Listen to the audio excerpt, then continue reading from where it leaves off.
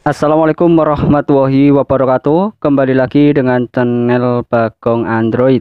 Pada kesempatan kali ini saya akan membagikan tutorial cara update aplikasi app lock Nah bagi teman-teman kalau belum tahu bagaimana cara update aplikasi app lock Bisa melihat tutorial ini sampai selesai.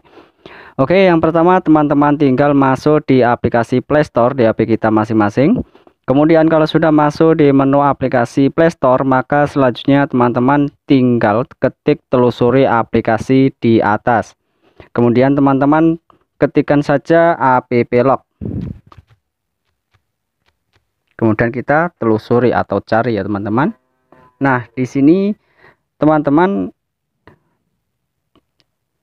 kalau update biasanya akan tulisan ada update ya teman-teman. Kemudian teman-teman tinggal ketik atau tekan update secara otomatis akan install aplikasi app lock tersendirinya ya teman-teman ke versi terbaru.